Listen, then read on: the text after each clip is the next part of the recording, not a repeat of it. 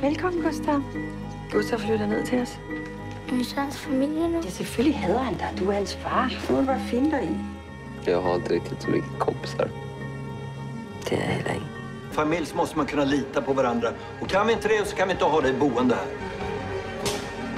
Du tror, jeg er et monster.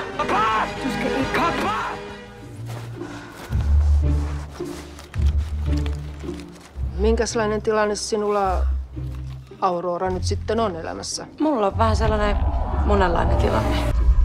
You're fucking crazy all of you. on ballerina. Onko me sinusta niinkö hurrikaani tai joku muu? Ihmiset haluaa rakastaa. Ja sanoo kultsi. Veistu hver þú ert? hver ég er.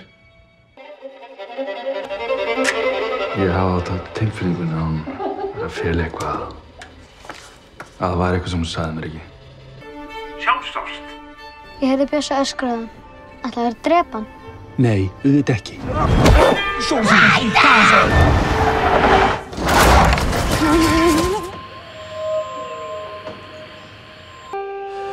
Hva var det som har skjedd?